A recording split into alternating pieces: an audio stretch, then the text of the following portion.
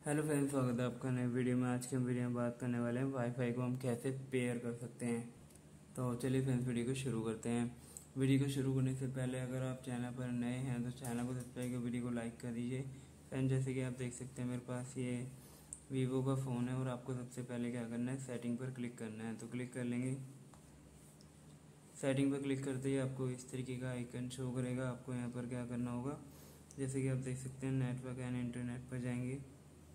Click करने के बाद आप देख सकते हैं यहाँ पर जो हमारा वाईफाई है, उसे क्लिक करेंगे और यहाँ से ओपन कर देंगे। ओपन करने के बाद आप देख सकते हैं यहाँ पर आपको डिफरेंट डिफरेंट आपके जो है वाईफाई के नेम नज़र आ जाएँगे और आपको इसमें से अपना वाईफाई चूज़ करना है, जैसे कि मेरा है मुकेश। तो मैं इस पर क्लिक कर लेता हूँ और यहाँ पर आपका पासवर्ड मांग रहा है तो पासवर्ड डाल लेता हूँ मैं। इसी तरीके से आपको भी अपना पासवर्ड डालना है, जो भी आपका पासवर्ड हो। और अगर आपको लगता है कि पासवर्ड गलत है या फिर कुछ मिस हो गया है तो शो पासवर्ड पर क्लिक कर सकते हैं।